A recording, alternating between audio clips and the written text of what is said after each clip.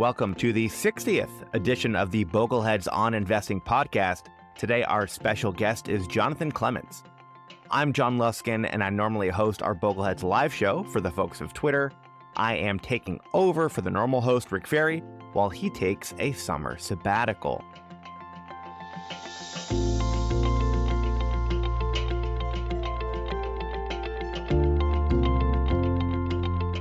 Please allow me to introduce Jonathan Clements. He is the founder and editor of HumbleDollar. He's also the author of a fistful of personal finance books, including My Money Journey and How to Think About Money. Jonathan spent almost 20 years at the Wall Street Journal, where he wrote about personal finance. Some announcements before we get started on today's episode with Jonathan Clements. This episode of the Bogleheads on Investing podcast, as with all episodes, is brought to you by the John C. Bogle Center for Financial Literacy, a nonprofit organization that is building a world of well informed, capable, and empowered investors. Visit boglecenter.net where you'll find valuable information, including transcripts of podcast episodes. And at boglecenter.net slash donate, you can make a tax deductible donation to support the mission of improving financial literacy. Another announcement Registration is currently open for the 2023 Bogleheads Conference. This year's conference is on October 13th through the 15th in Rockville, Maryland. We'll have some phenomenal personal finance and investing rock stars who will be attending as speakers, including Charles Ellis, Paul Merriman, Clark Howard, Barry Ritholtz, Wade Pfau, and more. And of course, Boglehead's favorites, the normal host of this show, Rick Ferri, Christine Benz, Dr. Bill Bernstein, Mike Piper, Alan Roth, and much more.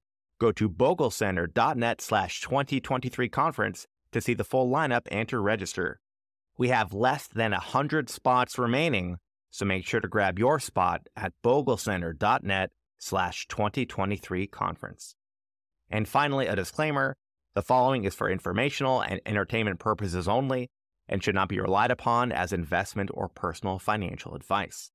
And with that, let's get started on our interview with Jonathan Clements. Jonathan, welcome to the Bogleheads on Investing podcast. Thank you for being here. Hey, Jon, it's great to be with you. Thanks for having me on. Let's start with your new book. Tell us about your new book. I have this new book out called My Money Journey. It's a collection of 30 essays written by various people who have in the past written for this website that I've run for the last six and a half years, humbledollar.com.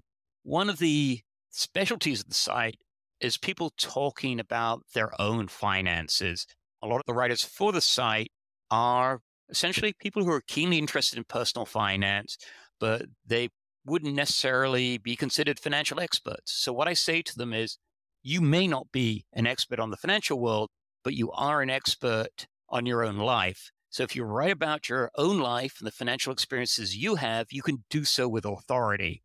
So, against that backdrop, when it was suggested that we do a book, I said, well, okay, let's all write about our financial lives. And that's what the book is all about. It's 30 people talking about how they've reached financial freedom or how they're endeavoring to reach financial freedom. And I think it's a unique book in this regard. Most of the time, we don't talk honestly about money. People will tell you about their religious beliefs. They'll tell you about their political beliefs. They'll even tell you about their sex lives, but they will not tell you how much they're worth or how much they earn. And one of the things you'll find in my money journey is that people are brutally honest about their own finances. People do talk about how much they earn, they do talk about how much they're worth. And I think it's refreshing for people. In a sense, it's also inspiring. But a lot of people struggle with their financial lives. They worry whether they're on track or not. And what you'll see from the book is that people make financial mistakes and yet they can still achieve financial freedom. Well, why don't you tell us a little bit about your money journey? So, among the 30 essays, one of them is my money journey. It's about how I got to where I am today, which is 60 years old and semi retired. And when I look back on my financial journey, it really seems to be a story in two parts. The first two decades or so was one of being super frugal and very much in a routine, striving towards financial independence. And the period since has been one of a lot of turmoil in my life where I've tried my hand at a variety of things in part because I could afford to do so, thanks to the financial freedom that came from my earlier frugality. But it was that earlier frugality that built the financial base that I rest on today. So during those 20 years or so, that was a time when I was at the Wall Street Journal, writing my personal finance column, living out in the New Jersey suburbs, living in a house that was really far less expensive than I could afford. And because that house was so much cheaper than I could really afford, it allowed me to save great gobs of money. And like so many other people who reach financial freedom, you know, it wasn't about being a smart investor that got me there. It was about being a great saver. It was about being the sort of person we refer to as, you know, a fire person today, financial independence, retire early, except it was before the fire notion even existed. It was just being super frugal and saving great gobs of money every month. Anything else you'd like to share about your new book? One of the things that people who read the book will discover is not only is frugality a common theme, but the other thing that really jumps out is the influence of people's upbringing. So many people talk about the influence of their upbringing on their financial habits. If you're a parent, this is truly scary. When you, as a mother or father, talk to your kids about almost anything, it's like you're holding a megaphone to their ear. They hear everything at 10 times the volume they hear anything else that they hear during their lives. And so some of the people in the book talk about how they struggle to overcome the money messages that they got from their parents. You know, others talk about how those money messages really set them on the right course. But either way, whether you're reacting to what your parents said or you're following what your parents said, the parental influence is really enormous. And you see that in so many of the essays in the book. Certainly, as a relatively new parent, that gives me pause. But my wife and I, I think we've got relatively frugal disposition. So it's probably a good thing for future of our daughter. I say this to you, Jon. Yes, being frugal and teaching your kids to delay gratification is a great thing, but you can overdo it. One of the stories that I've been telling lately is about my two kids. I have a 34 year old and a 30 year old. And my 30 year old just got his PhD, seven years, living on a stipend of $30,000 a year. He spent much of those seven years living abroad, doing a lot of traveling and so on. So over the seven years, he got, roughly speaking, $210,000 in the stipends. And he managed to save something in the six figures. When Henry told me this, it's like, whoa, maybe I emphasized the frugality a little too much.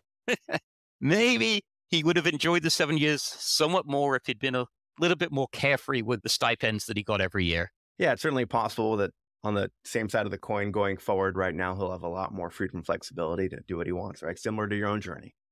That's true, but still, I would say in terms of my own financial journey, when I look back at that initial 20 year period where you know, I was living out in the Jersey suburbs in a house that was smaller than I could afford, and which I didn't really like that much when I was held the purse strings very, very tightly. In retrospect, I probably would have enjoyed those years more if I had been a little freer in my spending. No, in my defense, we don't know till the end of the financial journey how it's going to turn out. You know, in retrospect, my financial journey has turned out very well. But when you're starting out, you don't know whether you're going to get hit with frequent bouts of unemployment. You don't know whether you're going to have problems with you know medical costs. You don't know what sort of family turmoil you're going to face, and so on. I had some of that, but not to a huge degree. And so as a consequence, I ended up saving far more than I needed to for retirement. But for others, even if they're diligent from the get go, if they get hit with financial setbacks of one way, kind or another, maybe despite their frugality, they'll only just make it to retirement with the sort of money that they want. I can't help but think of a quote by Morgan Housel save for no reason. And I think it's fine to save for no reason. You know, when I think about what it takes to have a happy financial life, I think there are three pillars. And one of the key pillars of a happy financial life is not having to worry about money. If you are diligent about saving and you know that if bad things happen in your life, you won't be racked with financial anxiety, that is a huge source of happiness. I say to people this all the time money may not buy happiness, but not having money can buy you unhappiness. So, money takes away that anxiety. And that's huge. Until you've lived with too little money. You don't realize how great it is to have a bank account that's relatively full. Jonathan, anything else you'd like to share about your new book? One of the things that comes through in the book as well, and this is maybe not a huge surprise, but one of the things that comes through in the book is that even if people try all kinds of different investment strategies early on, almost all of them ended up as indexers in the end. So many people early on, you know, made financial mistakes. They dabbled in individual stocks, they dabbled in options, they thought they knew which way the market was headed, and engaged in a little market timing. But eventually they settle down, become financial adults, and start indexing. And that, coupled with the frugality and the great savings habits, is what allowed them to reach financial freedom. You know, it's so hard as investors to stay on track amid all the noise, all the temptations based on this market pundit's prediction or this person's you know screaming about this great individual stock or this hot actively managed fund all these distractions that can lead you to derail your financial life but if you can ignore that if you can do the right thing which is save diligently put it into a diversified portfolio of index funds and keep it up for 20 or 30 years good things will happen i think about how Rick Ferri describes the investor's journey, which is born into darkness, and then you find index funds. It's true. I mean, there is much more to managing a financial life than saving an index fund. But certainly on the portfolio side of things, those are two key components. I mean, obviously, there's much more that you need to worry about insurance, estate planning, find you know the right home thinking about when to claim social security and so on but on the investing side, between good savings habits and index funds, those two together, you know, are magic. Let's jump to some questions from the Bogleheads community. This question from Livesoft from the Bogleheads forums writes, one thing I've often wondered about is why people like Mr. Clements himself are still working and not off backpacking somewhere. Yeah, I looked through the questions on the uh, Bogleheads forum and that one jumped out at me. I would say when it comes to retirement, there are two different things that you have to say, I have enough of. And one is the obvious question, which is, I have enough money. But the other question you have to answer yourself is, have I done enough? Have I done enough with my career? Have I done enough for the world? Have I had enough accomplishments? And I think for a lot of people, even if they decide that they want to quit the workforce, they are not done doing. There is so much more they want to continue to do. And that is part and parcel, in my mind, to a fulfilling retirement. You know, you need that sense of purpose after you leave the workforce. So for those who continue to work for money or who leave the workforce but continue to work hard at volunteer jobs, you know, these are people who have said, I haven't done enough for the world yet. I need to continue to do things that I think are important, that I'm passionate about, that I find challenging, that I think I'm good at. And I think that's a wonderful thing. I mean, we as humans are not wired to rest and relax. We humans are wired to strive. We are, you know, the great, great, great, great grandchildren of our hunter gatherer ancestors. They didn't sit around thinking, hey, you know, let's take the day off and, you know, we'll see whether there's enough food tomorrow. They survived because they strove relentlessly to secure shelter and secure more food. And we within us carry those instincts. We want to continue to strive. And it's a great source of happiness. So when I was talking earlier about having enough money being one of the pillars of financial happiness, knowing that things are going to be okay even if a bad times strike. So the second pillar is being able to spend your days doing what you love. And what we tend to love doing is things that give us this sense of purpose. One thing I think about is a little meme that Rick Ferri often shares, often on Twitter, which is financial independence, remain employed for that FIRE acronym. That's cute. Let's jump to another question from the Bogleheads community. This one is from username Great to Be Outdoors from the Bogleheads forums, who writes, why aren't books that are written about personal finance and financial independence required reading in an academic setting at an early enough age to make a real difference? I think it's unfortunate that that's not the case, but I'm not convinced that it would make a huge amount of difference. I know there's a big push right now to teach personal finance more heavily at the high school level, at the college level, and so on. But studies suggest that even if you teach people about personal finance, it doesn't stick for very long. Instead, what tends to work is just in time education. So when you go to allocate the 401k, you're given a sort of catch up course on how to invest sensibly. Or when you go to get the mortgage, you have a catch up tutorial on what's involved in getting a mortgage and how much this is going to cost you and what the risks and different types of mortgages are and so on. So I think even if we had a huge effort to teach personal finance at the high school and college level, probably for 80% of the people who take those courses, it'll go in one ear and out the other, and it won't make a difference to the financial decisions they make two or three years down the road. Instead, to influence them, they need education at that moment when they're making those decisions. Let's jump to a question from Jordan from Twitter asks, I've been reading a lot lately about what the Bogleheads say about SPIAs, and that is single premium immediate annuities. And for those who aren't investing nerds, that just means we give the insurance company a big pot of money and then they give us a monthly payment for life. So that's a SPIA. And then also TIPS ladders for guaranteed income when in a drawdown phase in retirement.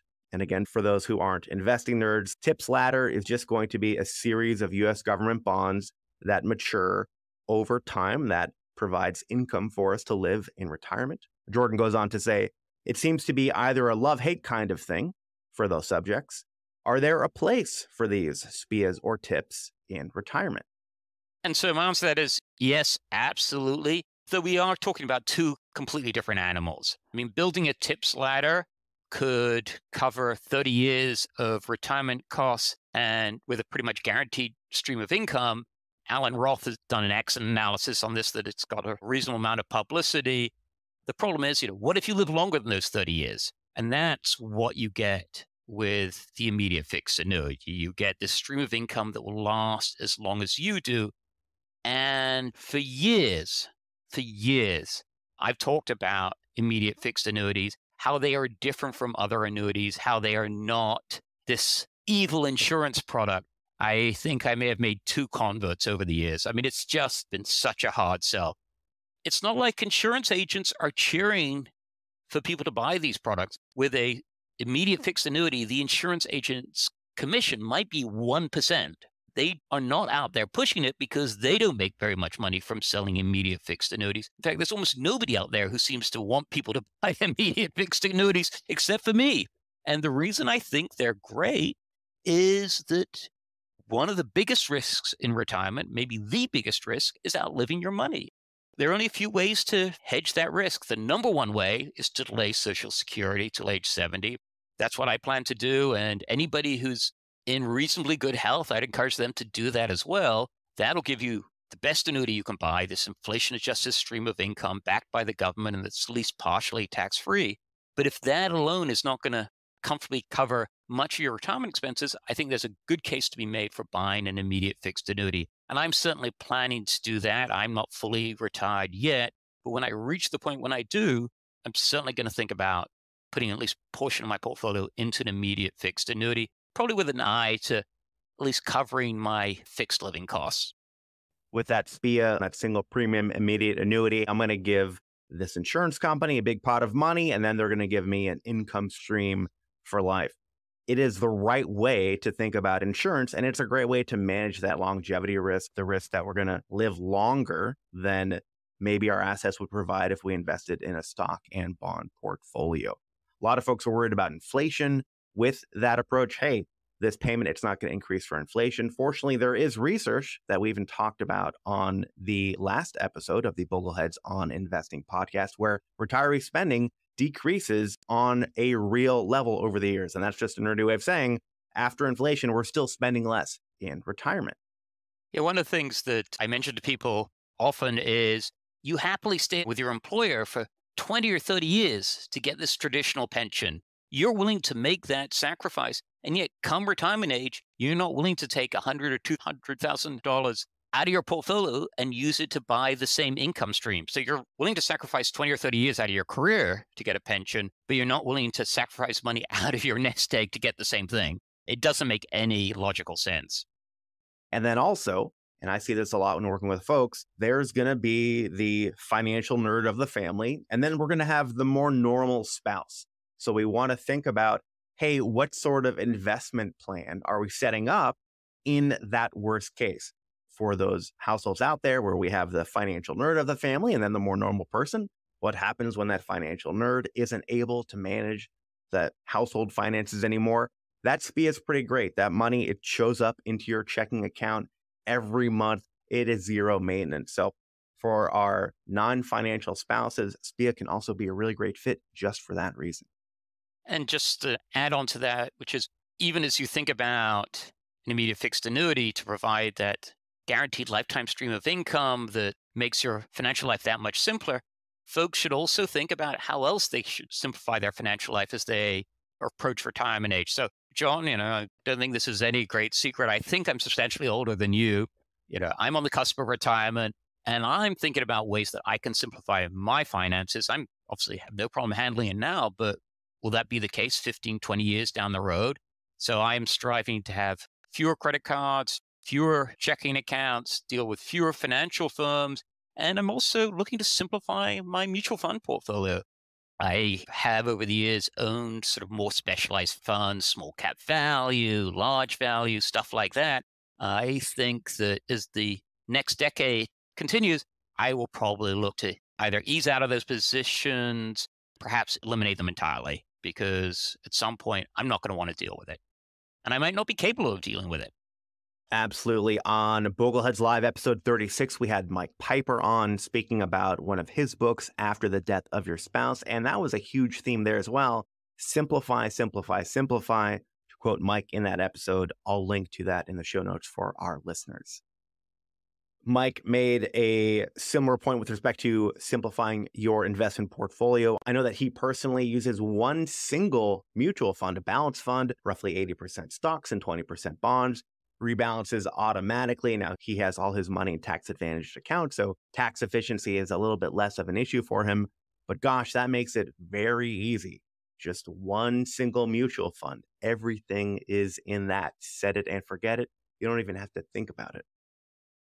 Let's jump to another question from the Bogleheads forums. Username JPM writes The way of the Bogleheads live below your means, seek safety and diversification rather than market timing, Invest consistently and with taxes in mind. Keep investing fees low. Time is your friend, so use it. Avoid acting on impulse and emotion as they are your enemies. Does he know of any comparably successful approaches for the non financial professionals? And the short answer is no. I mean, those are the key components of a sensible portfolio I mean, we can quibble about the details. What should be your precise asset allocation? How should you diversify? How frequently should you rebalance and so on? But yeah, those are all the key components. I mean, as Jack Bogle and many other people have said, investing may be simple and it should be simple, but it isn't easy. The really tricky part is not only getting yourself to do it, but then staying the course thereafter. As we were mentioning earlier in the podcast, there are so many temptations to stray. But if you can resist those temptations to stray and continue to do the right thing decade over decade, and that is a great list that the writer included, good things will happen. Certainly, with respect to that broader financial planning approach, I'm going to 100% agree with you, Jonathan. I can't think of anything similar. And then, with respect to the investing piece, one thing that makes low cost index funds so great is not necessarily that we get to invest in the stock market, it's that we are able to invest in a diversified manner at low cost simply and easily. I can't think of another way you can invest simply and easily at low cost that is also diversified. So let's think about private equity.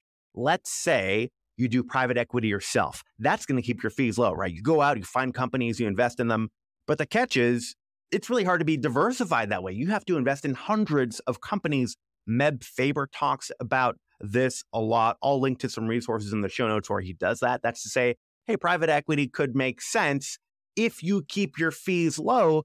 But now that means you're doing it yourself. You're not using a money manager, and therefore getting diversification is quite hard. I believe Meb invests in perhaps 300 companies. So you've got to go out and you've got to look at more than 300 just to get the level of diversification he's gotten in his approach. And it's going to be the same thing for real estate. You can invest in real estate directly. That's going to keep your fees low. There's no money manager between you and your money. But now you've got to invest in a lot of properties. And that takes a lot of money because you can't buy just part of a property. You've got to buy the whole thing. Now, certainly there are private equity funds and the real estate funds, and you get diversification there, and they're passive as well. But you can't get low costs there. So index funds are so fascinating because we can invest at low cost, be diversified, and it is a leave it alone approach. I don't know of any other investment where you can do that. Just picking up from that point, Jon, I had a chance to look through your request for questions on the Bogleheads. And one of the things that was put there was like, what is Clements' biggest financial mistake or biggest financial regret? And gave that question a lot of thought. Maybe it's particularly pertinent to me right now. So my biggest financial mistake or my biggest financial regret doesn't relate to my portfolio. I'm super diversified. I've tried to keep costs low. I've kept an eye on taxes. Instead, my of regrets or my financial pain has all come from real estate. I've owned four houses over the course of my lifetime. One was a big success, and the other three have been, you know, to use a technical phrase, royal pains in the ass. And it is an illustration of why index funds are great. So many other ways of investing are awful, which is that this real estate is a big, undiversified bet on a single piece of property. And when it goes well, it can go really well. And when it goes badly, it can be dreadful. Right now, I'm in the middle of renovating the latest home that I bought. Had it thoroughly inspected when I bought it. There was no sign of any major problem. The kitchen was gutted about four weeks ago, it's the beginning of the remodeling project. Your usual standard Philadelphia row home. And what the contractor discovered when they ripped out the kitchen and all the wallboard and so on is that at the right hand backside of the house, there is no load bearing wall, no load bearing wall, period. So suddenly the cost of this renovation has gone up by 12 or 13% because they have to repour concrete floor and rebuild a wall to support the back right side of the house. You know, I, as buyer of a home, typically ignorant, and even with the help of a uh, inspector, had no idea, nor did the contractor until they tore out that wall. But that's the danger of making a big, undiversified bet. And that is what real estate is. Let's jump to another question. This one is from Bogle Fan Gal, who writes I've been a regular reader of Jonathan since his Wall Street Journal days and never miss his weekly HumbleDollar newsletter. My question is if he had the power to change one past column or piece of advice from his Wall Street Journal days, what would it be? I would say that over the course of my journalistic career, there are three things that I regret. One is in thinking about some past columns that I wrote, even though I avoided getting into the prediction business, I don't think anybody can predict what's going to happen to the markets in the short term. I think the only reasonable assumption is that, you know, a globally diversified portfolio will go up over time, but that doesn't tell you anything about the short term. Nonetheless, at various times, I feel like I wrote about different parts of the financial markets with more or less enthusiasm because I imagined I knew something that was unknowable. I may not have made a prediction in those columns, but the reason I wrote those columns was because in my head, I thought I did know something. And second, related to that, was I think that over the course of my career, I spent far too much time talking about stock market valuations. And at this point, looking back over the past four decades, I have to say, and this sounds like a sort of completely butt ignorant thing to say, but I have to say that at this point, I would have been much better off over the course of my career just ignoring all these stock market yardsticks, these valuation metrics, because they are not predictive. Even if you know everything about the Shiller ratio, PEs, on forecasted earnings, trailing earnings, book value, the Q ratio, whatever it is, the Tobin's Q, it's not going to tell you where the market is going. And yet I spent way too much time writing about these things that nothing more than intellectual noise. I did a paper on dollar cost averaging that looked at the question hey, markets are expensive. Should I be dollar cost averaging? I did that paper in 2017 using 2016 data because people were concerned about market valuations then. Can you imagine if you thought, hey, the market's expensive back in 2017 and didn't invest in stocks for that reason, you would have missed out a lot. So I think one takeaway from that is yes, markets are expensive, but that doesn't mean they can't continue to go on to be even more expensive. One of the basic asymmetries of the markets that worth keeping in mind is that the most the stock market can lose is 100%. Very few have ever managed to achieve that, except maybe the Russian market of late. But the potential gains are unlimited. You don't know how high the sky is. So bailing out on the way up because you think the market is expensive can turn out to be a huge mistake. I've been writing about the financial markets since 1985. And from the earliest days, the old timers were saying, oh, you know, this rally we're in, we could be going back to the 1970s anytime now. And then, of course, the 1987 stock market crash came along to confirm that, yes, they were right to be fearful. And they've continued to be fearful ever since.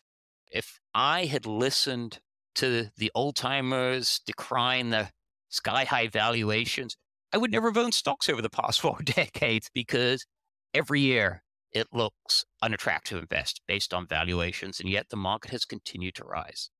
I think about what is the worst case with respect to a globally diversified portfolio. That's to say, if the market does go to zero, then your portfolio is going to be the least of your concerns. So it makes it hard for me to figure out a situation when it's ever the right reason to sell out. Because if the global society does not collapse, then you want to stay invested. And if it does collapse, then there's no real benefit to selling anyway. Either of those situations, I can't ever think of a reason why it makes sense to sell if you have the right mix of stocks and bonds for you that matches your personal goals, et cetera, et cetera. If the stock market went to zero, what do you imagine bonds are going to do? They're also going to zero. We are facing economic apocalypse and nobody will be able to make interest payments on their bonds. At that point, you know, probably the only thing that you know will save you are canned goods and ammunition. Think about economic apocalypse, yeah, get out of everything. But if you think that the economy will continue to grow, then stocks are the place to be. And I do believe that to be a stock market investor, you need to be an optimist. Every day, almost 8 billion people around the world wake up and say to themselves, How can I make my life better? And the human energy that is unleashed drives the growth of the economy, leads to improving productivity, and we all benefit from that. That is what trickles through to the stock market. And it's why the stock market rises over time. And if you have any doubt about that, just think back to 2020 and the pandemic. Faced with this economic shutdown, faced with this virus that we knew very little about, somehow people managed to go on. Restaurants moved their tables out onto the street. Companies figured out how to get employees to work from home. The amount of innovation that occurred because of the pandemic was huge. And of course, the biggest innovation was the discovery of a way to vaccinate people. We developed a vaccine in record time, extraordinary scientific achievement. If you have any doubt about the stock market, think about that period and the human energy that was unleashed, and that should make you optimistic about the future. And then the final thing I regret. I've now have less enthusiasm for target date funds than I did 10, 20 years ago. And it's simply because I'm at a different point in my life. When I thought about target date funds initially, it's like this is a great solution for people who are saving for retirement. And I still believe that's the case. If you're in a 401k plan and you're not sure what to do, putting all the money into a target date fund is a great solution. Hopefully, it'll be one of those ones that are built around index funds, coming out of Vanguard or Fidelity or Schwab. But even these funds that use actively managed funds, for probably the majority of investors, they're a better option than anything else they might get up to. But as you approach retirement, which is where I am today, and I look at these products, they look much less attractive for a couple of reasons. One is when you decide to sell, you're selling out of the entire fund. You can't choose whether to draw money from the bond side or the stock side of the portfolio. But the other thing that I find myself more critical of is the glide path of these funds. I mean, they do become amazingly conservative as you get into retirement, you know, down to 30% stocks. And I don't think it's wise for somebody who is 75 years old to be at 30% stock. Could be a lot of life ahead of you and a lot of inflation ahead of you. I believe that you should have more in stocks in order to make sure that you have the portfolio that'll carry you into your 90s. The way target date funds are structured today, they just don't fit the bill. So, yeah, they're good for people early in their career. I wish I'd been less enthusiastic about them and caution people more about the dangers as you approach retirement and get into retirement. I 100% agree. They are great on the way to retirement, but once you hit retirement, certainly you want to reevaluate them for precisely that reason. It might make sense to even increase the amount you have in stocks once you hit that first year of retirement. Wade Pfau Michael Kitces. They've done some work on this. I'll link to that in the show notes for folks who want to check that out. And certainly when you are looking for those target date funds, Vanguard has some great low cost ones. Fidelity and Schwab, they actually have two varieties. They do have a low cost index fund variety, and they also have a higher fee active management variety. Most bogleheads know which one is going to be the better fit for them. This question is from username Unwitting Gulag from the Bogleheads forums. To what extent is financial independence quantifiable? Accumulating 25 times one's annual expenses or 50 times? Verse, is it purely subjective, being a feeling that one already has enough? So, in terms of financial independence, you don't necessarily need 25 times your annual expenses because at least a portion of that is going to be covered by Social Security, and you may also have a pension. What you want as a rule of thumb is 25 times whatever you need in addition to the money that you're going to get from Social Security, from a pension, from any income annuities that you're the beneficiary of. So, yeah, as a rough rule of thumb, 25 times, not a bad guideline. I would be happy with that. And for those who aren't investing nerds, you might be wondering why 25 times. Well, because that gets you a 4% withdrawal rate. Why 4%? Well, that is the research that Bill Bengen created showing hey, you could take 4% out of your retirement portfolio, adjusted for inflation each year, and not run out of money after 30 years. We interviewed Bill Bengen on episode 35 of the Bogleheads live show, and we also interviewed Christine Benz on episode 37 that takes a little bit of a different approach to answering that same question. I'll link to all that in the show notes so folks can check that out. So the Bengen research has been subject of some controversy over the years, and people say, well, you can withdraw more than 4%, less than 4%.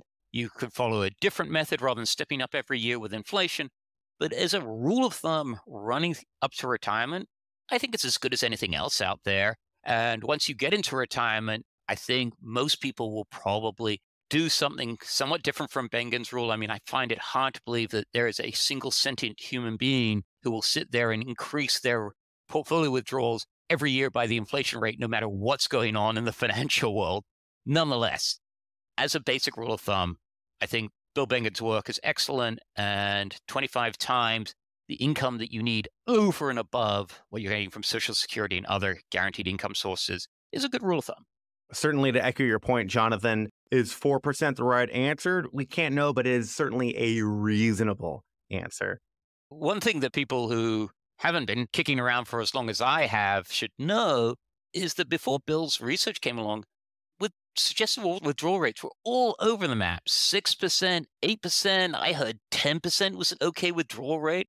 Bill, with his research, didn't at least introduce a note of sanity into this discussion. Imagine retiring and trying to use a 10% withdrawal rate. I don't know what those flavor of cat food these people were eating by their late 70s, but it must have been a pretty ugly retirement. Absolutely. And then I'll add no matter what medium you choose for making that spending approach to retirement 4%, something less, something more, you always want to reevaluate it regularly. That's going to be way more important keeping an eye on it, adjusting as needed than whatever initial plan you start out with. Yeah, I think it's one of the things with retirement is there's this end of history illusion that as of retirement, everything's going to be settled for the rest of your life. And the fact is, once you get into retirement, there will be constant upheaval, just as there has been constant upheaval in your life up until that point.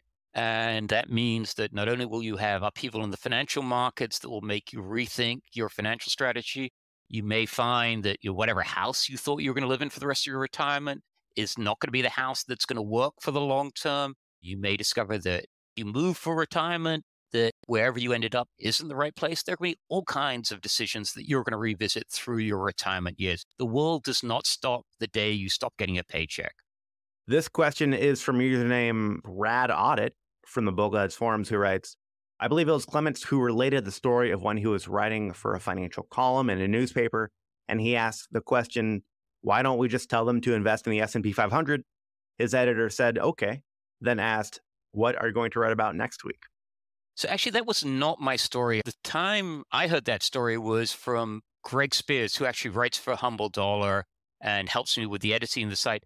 Greg used to work for Kiplinger's Personal Finance, and he traveled up to Valley Forge, met Jack Bogle, and wrote about the S&P 500 for Kiplinger's back in the mid 1990s. And he used the analogy that if investing is a 100 yard dash, you know, buying an index fund is like starting on the 10 yard line. You know, you're just starting way ahead of everybody else. And so he wrote this story. Kiplinger's ran it. Then his editor said, that's it. That's your lost index fund story. Because if we ran that story every month, nobody would ever buy the magazine again. So Greg went on to work for Vanguard. He worked there as a senior writer and editor for a few decades until his recent retirement. My story about indexing or my joke is always that there are only 20 personal finance stories, which means that by the time I left the journal and written a thousand columns, I'd written each of those 20 stories 50 times each. Now, Jason Zweig, who I've known since the 1980s and I consider to be a good friend, claims that he made that comment as well. So we debate about who actually made the joke first, but essentially it's the same joke, which is there's only so much sensible advice that you can give about personal finance. As a writer about personal finance, you are reduced to trying to take this advice, which the earlier question talked about living below your means, diversifying, keeping costs low, and so on and finding some way to make it sound fresh and interesting every week. So, yeah, everybody should own total market index funds. It's great advice. But if you're going to say that regularly, you've got to find some new way to say it, or you're going to quickly be out of a job and you'll probably bore your readers. I think about that investing piece, and really it is simple. There's not much more to it than get the right mix of low cost index funds, hold them forever. There's so much more to financial planning that can be more complicated. I wish I could figure out a way to get folks more interested in those other areas, making sure that they have the right insurance coverage, making sure they have their estate planning done. Super boring compared to investing, at least for some folks. Yeah, when I think about the financial world, I really think about it in three buckets. So there is this investing piece, which we talk about endlessly. People spend all day staring at CNBC and it is information without insight. I mean, there is no way that you are going to add anything to your portfolio's performance by taking in all of this useless information. And then there are these two other parts that you can focus on. One is everything else, what I would call personal finance, estate planning, when to claim Social Security, insurance, buying the right size home. All of these are areas where you can add so much more value than you can add by fiddling around with your portfolio. And yet, these are the topics that barely get covered in the financial press and certainly don't get covered on financial TV. But this is where you can add true value to your financial life.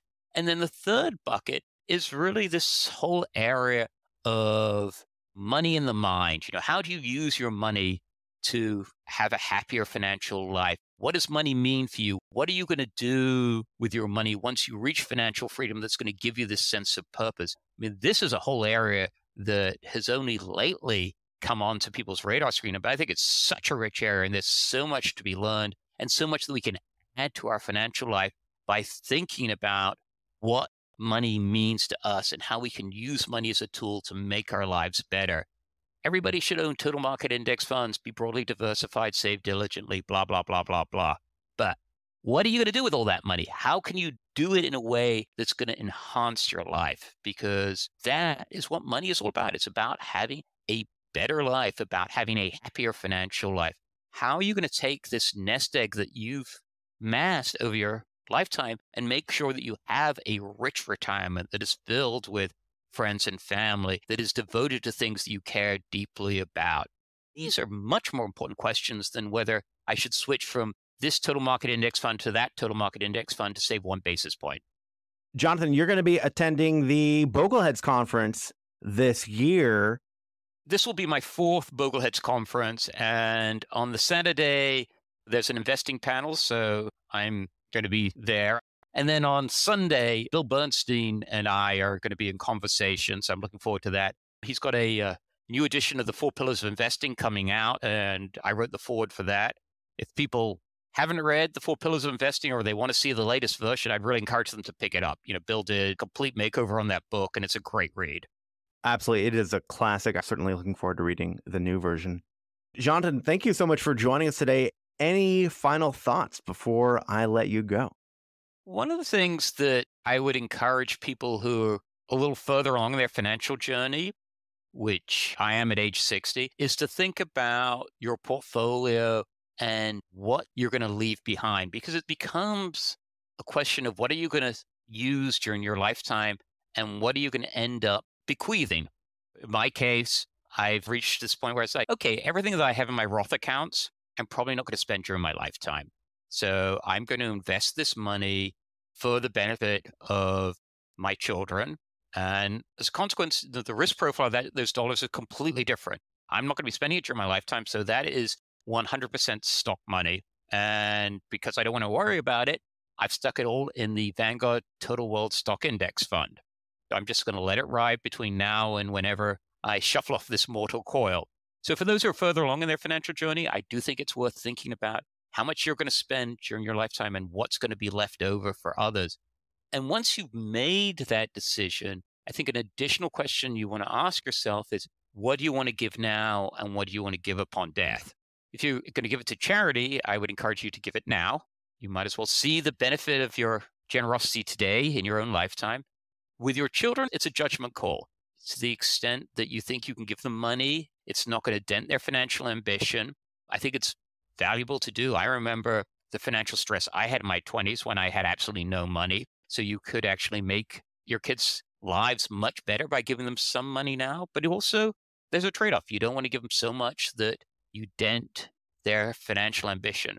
I know this is a sort of a first world problem and maybe a first world problem for people of, relative affluence, but it is worth thinking about. It's certainly something that I think about a lot at this point in my life.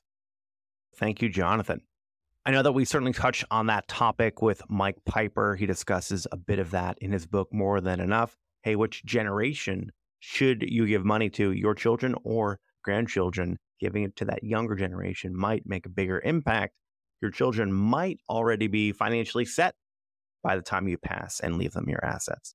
I know everybody's probably already got this message, but along with Bill Bernstein's book, you know, Mike Piper's new book, More Than Enough, is well worth reading. I thought it was excellent. Well, Jonathan, thank you again so much for joining us and look forward to seeing you at the Bogleheads conference later this year in October. It was great to talk to you, John. And yeah, I look forward to seeing you and everybody else from the Bogleheads who's going to be there down in Bethesda. And that wraps up our interview with Jonathan Clements. Don't forget that there are still just a few slots remaining to register for the 2023 Bogleheads Conference.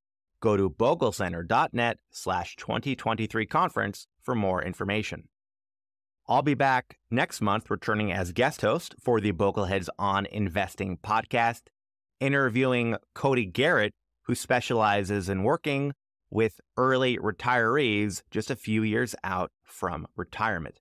So if you're interested in the FIRE movement, financial independence, retire early, as we touched on during this episode, you'll want to check that out. Until next month, you can check out a wealth of information for do it yourself investors at the John C. Bogle Center for Financial Literacy at boglecenter.net and check out bogleheads.org, Bogleheads Twitter, Bogleheads Wiki, the Bogleheads YouTube channel, Bogleheads Facebook, Bogleheads Reddit, the John C. Bogle Center for Financial Literacy on LinkedIn, and local and virtual chapters. And to you listening right now, yes, the person who is listening to this podcast, I am talking to you this very second. If you could please take a moment to subscribe and to rate the podcast on Apple, Spotify, Google, or wherever you get your podcast. Also, please be sure to leave a review the more listeners who do that, the more other folks will find this resource for do it yourself investors. Thank you again for checking out this episode of the Bogleheads on Investing podcast. Until next month for our next show, Have a great one.